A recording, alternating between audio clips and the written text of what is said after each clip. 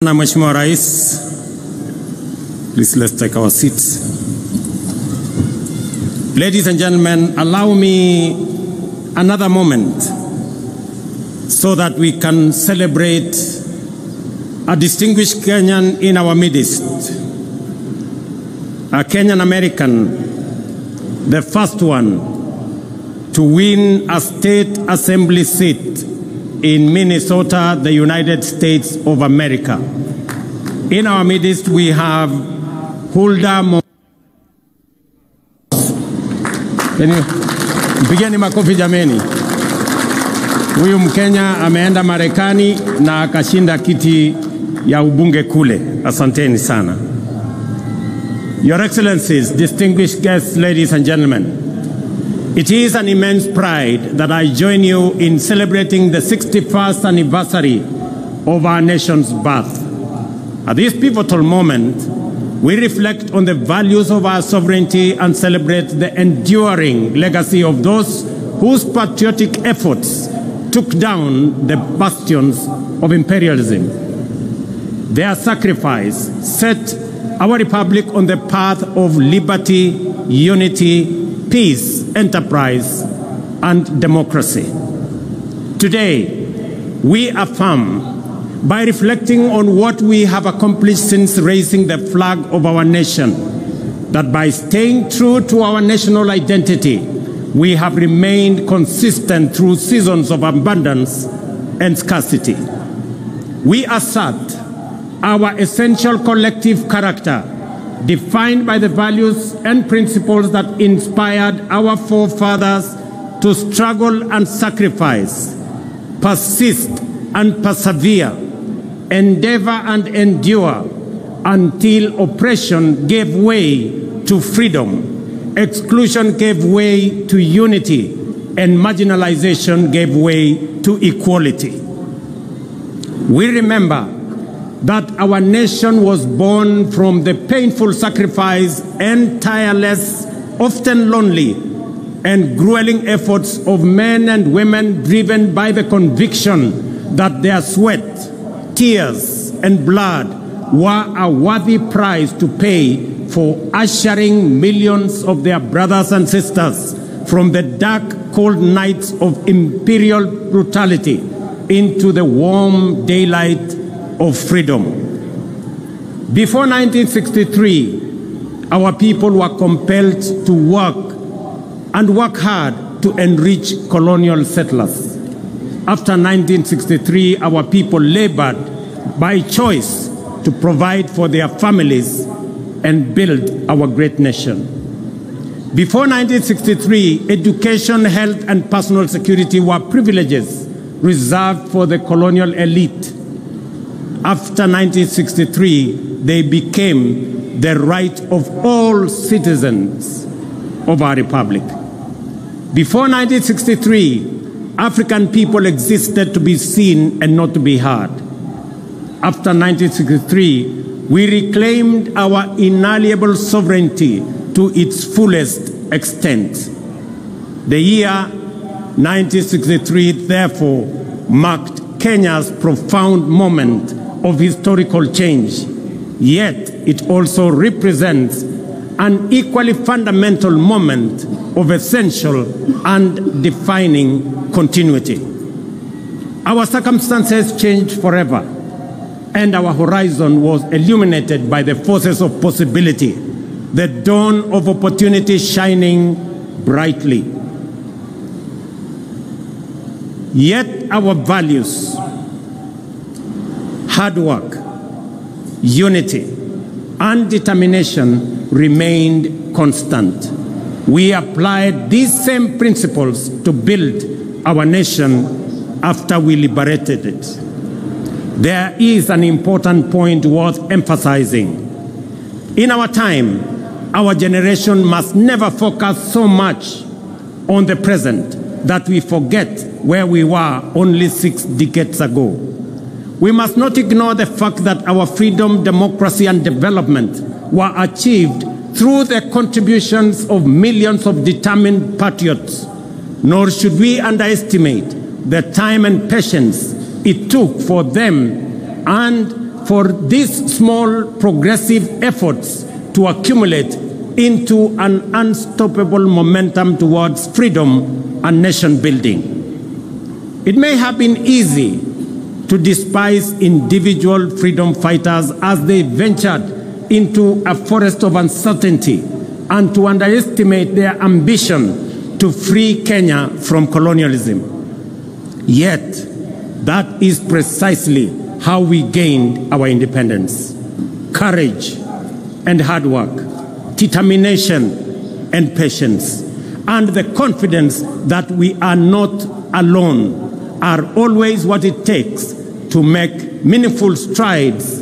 as a nation. Today, I want to encourage my fellow countrymen to keep this perspective in mind. As we aspire for more and better, we must not give way to despair, pessimism, or skepticism when faced with challenges, but instead forge our path forward with courage, hope, determination, and ambition. I declare my unswerving faith in the ability of our people to interrogate policies and hold the government to account. This is the essence of democratic freedom, a civic duty for citizens, a responsibility for leaders, and a necessary imperative for our success and progress. We have experienced a particularly challenging time as a people, largely owing to dynamics beyond our control, resulting in high cost of living, greater difficulty in finding employment, and fewer opportunities for entrepreneurs. Consequently, have, there was widespread anxiety about the economic stability of our nation, demanding urgent and appropriate interventions and effective solutions. The bottom up economic transformation agenda was inspired by our determination to confront these fundamental challenges directly and with ambition. Our aim was first to lay the foundation for robust economic activity to generate millions of opportunities at the bottom of the economic ladder each year and drive substantive, inclusive, and sustainable growth. Our key priorities were to reduce the cost of living, stimulate enterprise, boost productivity, create jobs, foster a conducive environment for institutional and infrastructural development, and promote investment in manufacturing, industrialization, and export competitiveness. As a starting point, it was critical for us to tighten our belts and make significant sacrifices to reset our public finances on a sustainable path, enabling intensified investments in the strategic pillars of our plan and the cross-cutting enablers of rapid transformation. I acknowledge, ladies and gentlemen, the work we have done and the milestones achieved in creating the necessary conditions for progress in every value chain that support the pillars of our plan. There is a time to resist and a time to accept, a time to deny and a time to admit, a time to doubt and a time to believe. In the face of undeniable evidence, skepticism must give way to confidence and we must reject the deceptive embrace of disinformation and fake news. The results and positive impact of our collective pursuit of fundamental economic change can no longer be wished away. Ladies and gentlemen, financial inclusion, for example, is now a reality for millions.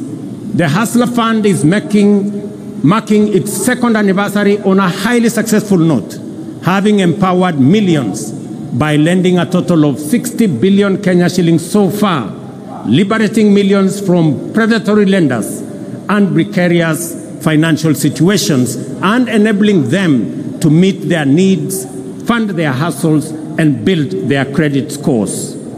Our ongoing conversation with borrowers focuses on concerns related to short term duration, modest loan amounts, and the time required to increase borrowing limits.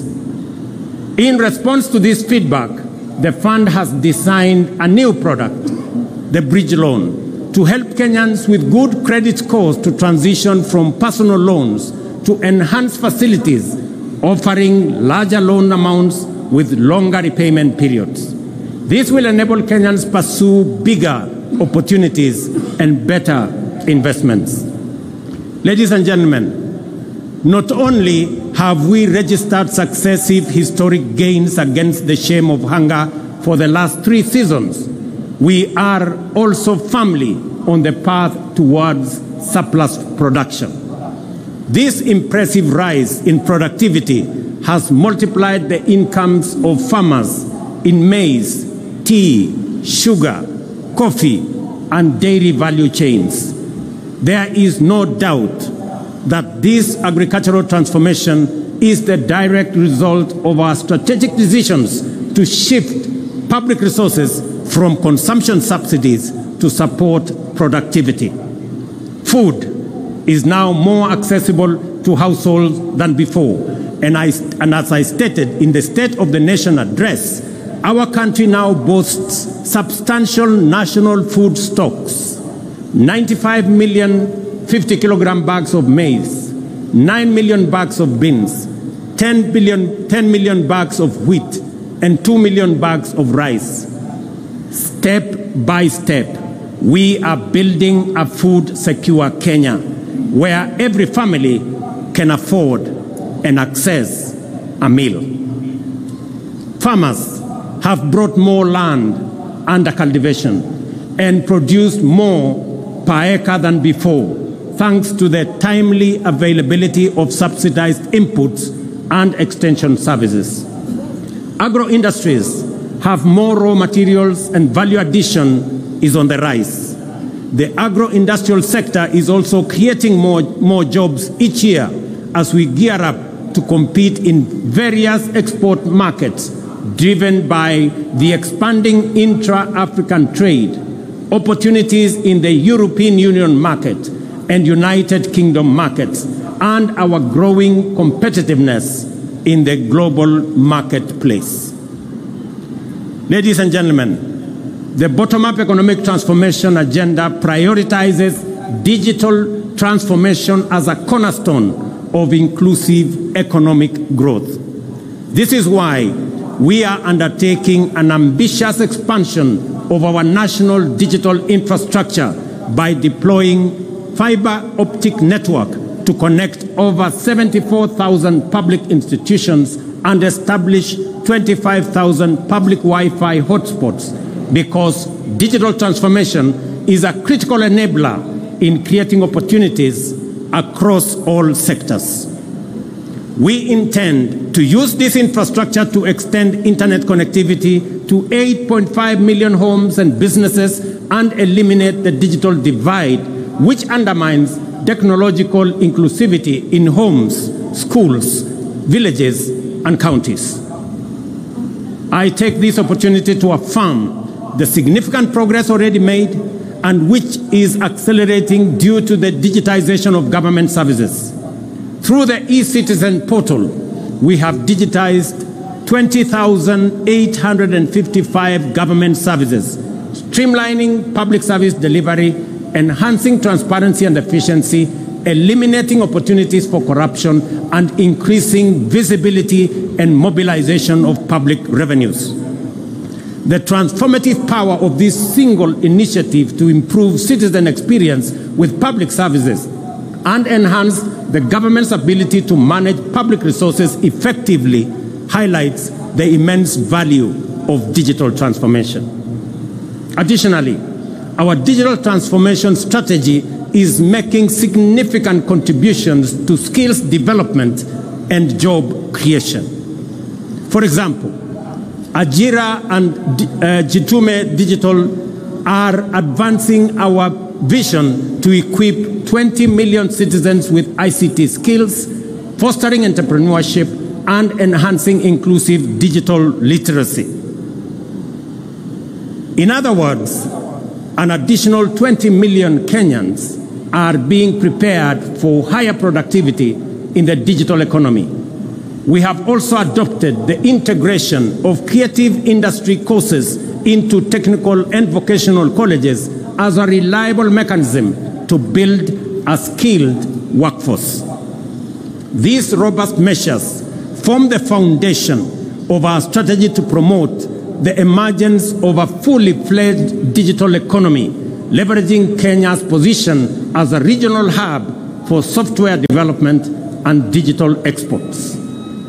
These initiatives are supported by key interventions such as the establishment of institutional and incentive frameworks to promote investments, foster collaboration, and encourage the transfer of digital technologies with a particular focus on artificial intelligence and blockchain. Through these efforts, we are empowering local digital innovators and tech entrepreneurs to drive economic diversification and resilience. Ladies and gentlemen, the discourse around universal healthcare remains lively, with concerns being raised about eligibility for coverage, the capability of health facilities to deliver services, and the alignment of contributions by individuals with benefits. Under Taifa Care, our inclusive, universal, efficient, and transparent healthcare service model, we are implementing a transition on an unprecedented scale.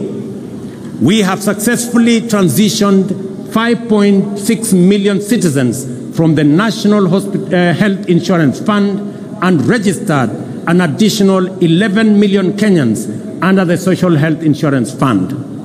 This means that in just two months, 11 million Kenyans who previously lacked access to healthcare services are now registered, with the registration process going full steam in every part of Kenya. I commend Kirinyaga, Nyeri, Bomet, Embu, and Lamu, the five leading counties so far in Taifa Care registration. At the same time, I encourage the people of Marsabit, Garissa, Mandera, West Pokot, and Turkana, who have the least registered members, to mobilize, register, and take advantage of the benefits of this transformation program. Taifa Care ensures healthcare access for all registered citizens without discrimination of whatever kind.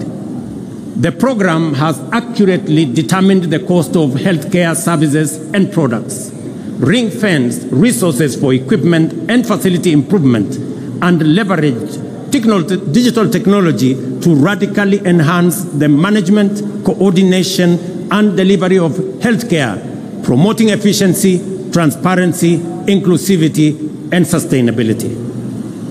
No public service delivery project of this scale and ambition has ever been undertaken in the history of our country. We are confident, however, that this will be quickly surpassed. we will quickly surpass the 16.5 million citizens so far registered and provide all Kenyans with high quality health care that is effective, efficient, affordable, and sustainable. Having said this, I wish to ask you this important question, each and every Kenyan. Have you registered? Nyinyi mmejisajili? Mumejiandikisha? Those who have registered often find that many of the issues, concerns, fears, and questions are fully addressed to their satisfaction in the registration process. I therefore encourage every Kenyan to register and enjoy the fundamental constitutional right to health care that is being rolled out.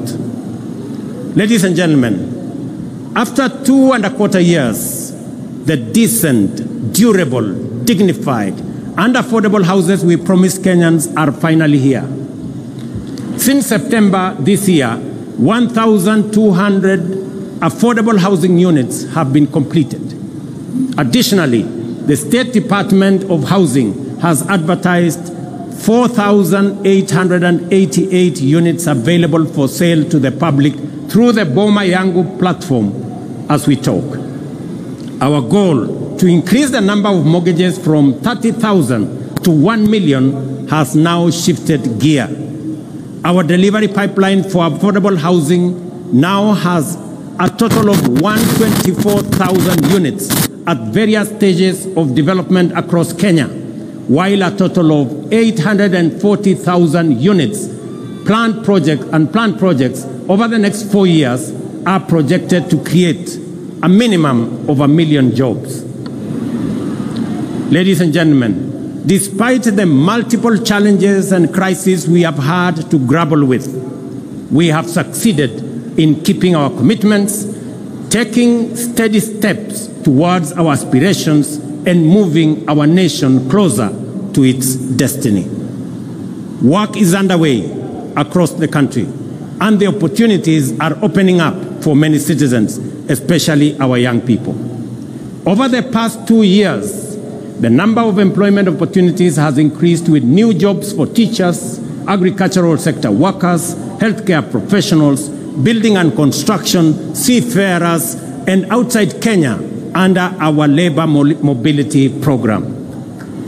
The affordable housing strategic pillar of our bottom up economic transformation agenda has so far created 200,000 jobs and thousands of indirect opportunities across the building and construction value chain. The universal healthcare coverage pillar has engaged 107,000 community health promoters alongside other healthcare professionals employed to support our vision of a functional national healthcare system. In addition, jobs will be created in healthcare innovation, service delivery, and ICT support for digital health system that we have rolled out, unlocking opportunities nationwide. Furthermore, we have recruited 56,000 teachers to address the chronic teacher shortage uh, problem and move the national teacher to student ratio closer to the United Nations recommendation of one teacher for every 40 learners. This December, we are hiring an additional 20,000 teachers while our rejuvenated micro, small, and medium enterprise sector has generated 840,000 jobs this year. To address the urgent need to create opportunities for the hundreds of thousands of young men and women entering the labor market annually, we have expanded the employment opportunity spectrum and implemented strategies to secure jobs abroad to facilitate mobility and placement of suitably qualified Kenyans. Since September 2022, more than 243,000 Kenyans have secured international job opportunities in healthcare, in agriculture, and construction sectors, among other sectors. In the last two months alone, 12,000 have secured jobs abroad. So far, we have completed bilateral labor frameworks with seven countries, while agreements with two more countries are awaiting signature. Additionally, agreements with 13 other countries are at various stages of negotiations, and we project to connect up to 2 million Kenyans with, job, with jobs abroad once this exercise is completed. Our digital superhighway and creative economy program, which involves laying 100,000 kilometers of last mile fi fiber optic infrastructure and establishing digital hubs nationwide, is designed to create digital jobs at the grassroots. To date, 690,000 citizens have been trained in digital skills through the Ajira and Jitume programs in various learning institutions including TVETs and constituency innovation hubs, out of which 180,000 young people have already been linked to online job opportunities, well on track to creating 1 million jobs through this program. Our special economic zones and export processing areas are boosting investment, manufacturing, exports, creating jobs, and increasing national wealth. In the past two years, we have licensed over 80 companies within these zones, creating 14,000 jobs.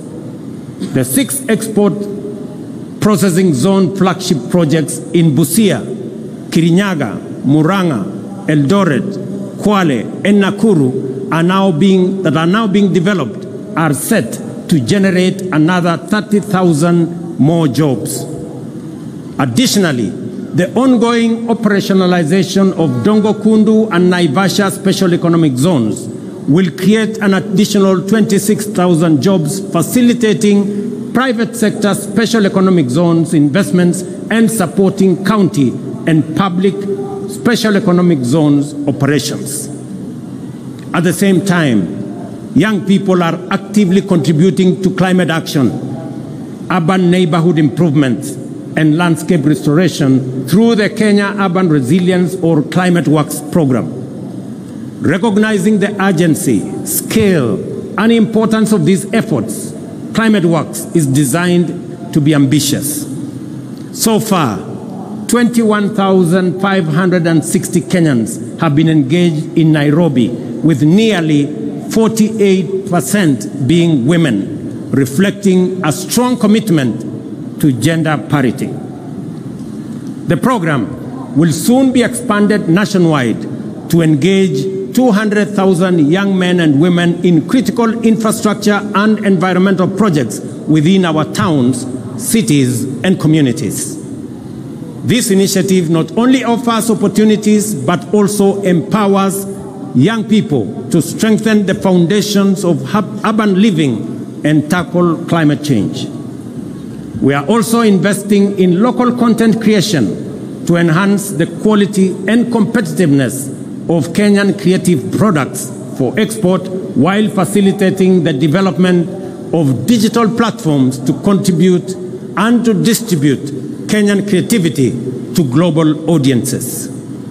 I am confident that we are firmly on course to transform opportunities for our creative industry. I salute the actors in our creative space whose work brings life to our cities, streets, and screens. Yet, their achievements are overshadowed by injustice. Musicians, who are the heartbeat and soul of our culture, have long been denied their rightful earnings. It is unacceptable that an artist earns as little as 10,000 shillings a year, while those tasked with collecting their royalties pocket millions monthly. This injustice, ladies and gentlemen, must end. The Kenya Copyright Board, in conjunction with industry players and e-citizen, must establish a transparent, real-time system for royalty collection and distribution to rightful owners and beneficiaries. As we champion this cause, Kenya is also preparing for global leadership by bidding to host the 2026 World Creative Economy Conference, signaling our commitment to celebrate our talent and showcase our vibrant culture to the world. Hosting this conference will be a bold declaration of Kenya's leadership in the creative economy.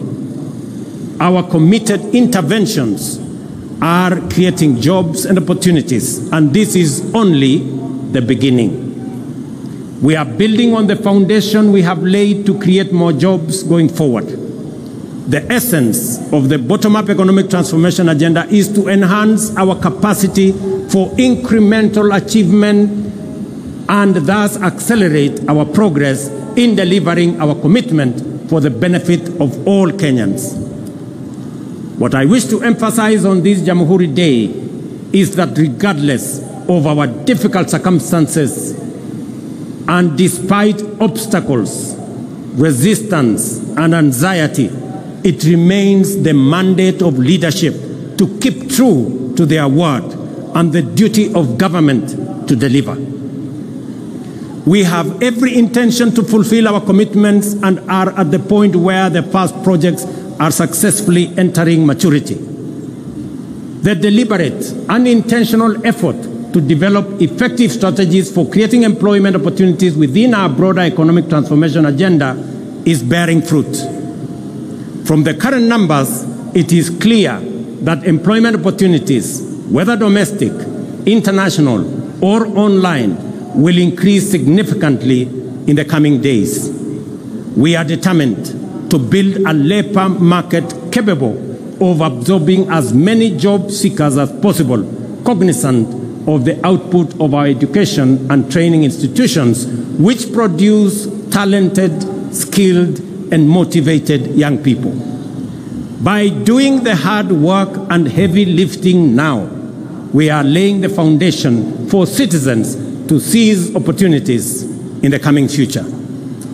As we do this, let us reflect on the lessons of history and rise uh, above our political differences to deliver for Kenya.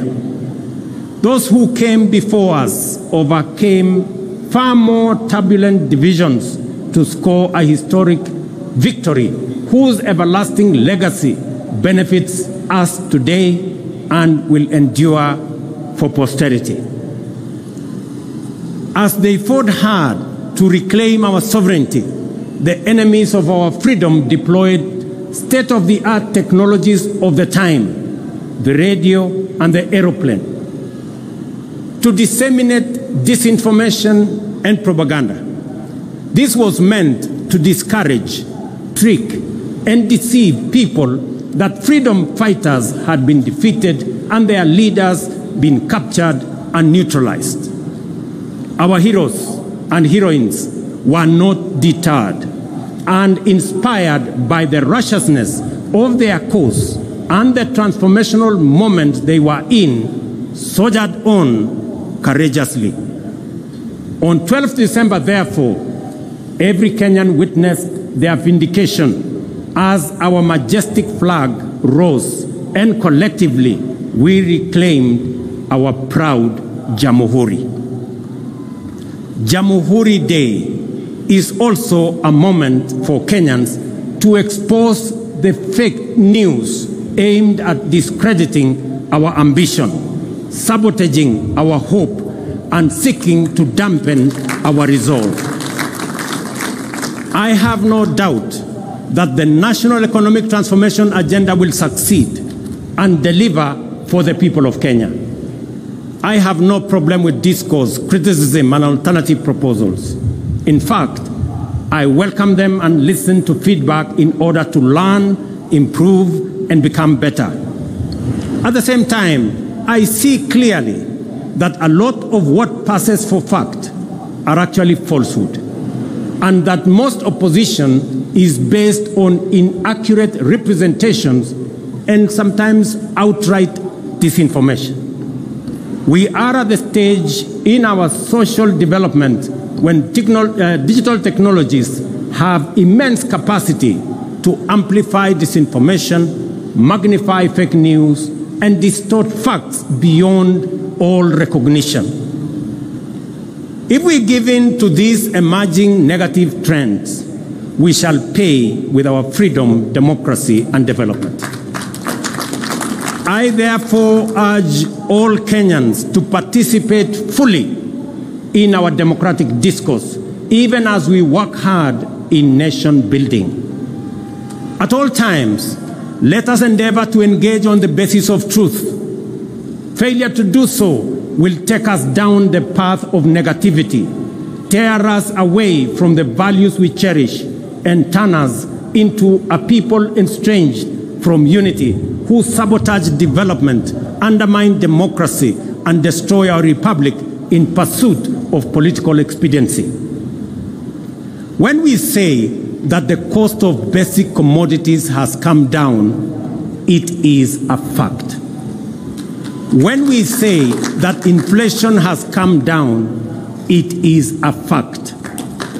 When we say that our farmers are producing more and better, it is a fact. When we say that Kenyans who have registered for Taifa Care are receiving better services than before, it is a fact. We encourage everyone, including our critics, to engage on the basis of facts and the truth. If some of us persist in the culture of reckless negativity, for how long will cynics mobilize Kenyans to deny facts that they can feel, that they can touch, and they can see? What will they say in a few weeks' time when we begin to give keys to new homeowners of our affordable housing units? What will they say at the thousands of plumbers, electricians, teachers, health workers, building and construction workers, digital workers, and many more who are already at work, including the 300 young men and women who yesterday were flagged off by my deputy to go and work abroad, joining thousands who are already abroad. Ladies and gentlemen, I am confident in the future of our nation and the capacity of our national transformation agenda to deliver because I appreciate the strategies we have put in place, the work underway, and the commitment of our people and their motivation to make their contribution. I count myself as one of the many millions of Kenyans who want the best for our nation and all its people and are committed to putting in the effort required to make our, our dreams come true. We are driven by strong hope and unwavering optimism, as well as unfailing desire to reach for a better tomorrow. It is confidence based on understanding, hope built on truth, and optimism that, is, that stands on the firm foundation of facts. We must do all we can to maintain the essential character of our republic as an open and free democratic society. This implies that we must also do all we can to ensure that our political competition and rivalry never degenerates into contest to assault democracy, oppose development, and demoralize the people.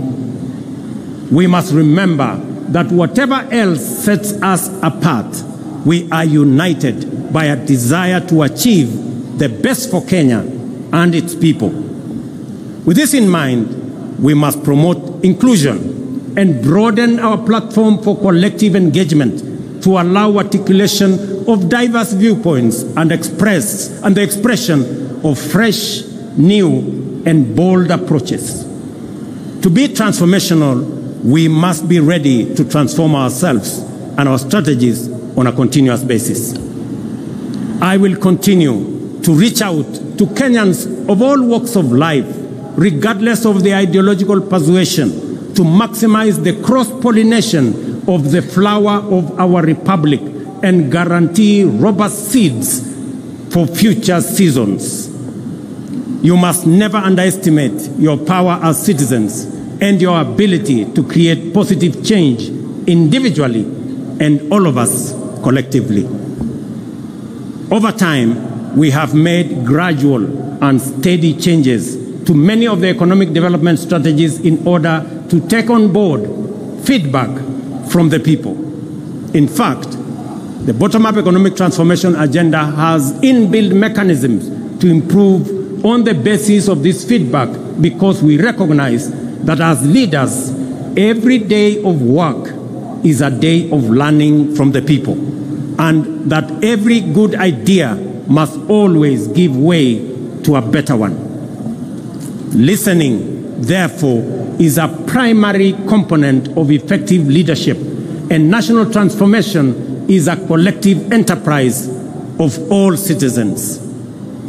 I am grateful to distinguished patriots who have demonstrated outstanding leadership across the political aisle for the spirit of goodwill in which we have engaged to address critical national issues, including resolving the inclusivity challenge by formulating the broad based government. I also appreciate the good wishes, encouragement, and support from leaders with whom I continue to discuss matters of importance to our nation. I am persuaded that together we can achieve much more and much sooner for Kenya, and that the future of our dreams is now within sight. I readily concede that we are yet to reach the destination of our aspirations because we have not yet delivered fully on our commitments. But having said that, it is also a fact that we are no longer where we were a year, let alone two years ago. We have moved beyond pledges and commitments and are now making progress in our implementation strategies. There is now sufficient evidence of undeniable character that together the people of Kenya are hard at work to achieve their shared vision of a nation transformed. Our ability to feed the people and to keep them healthy, to empower them and connect them to opportunities, to keep them safe and protect their freedom is improving by leaps and bounds. When we all unite, inspired by a shared aspiration to undertake national building, we shall make our nation great, and our collective legacy will inspire present and future generations. Ndugu wa Kenya, wacha nimalizie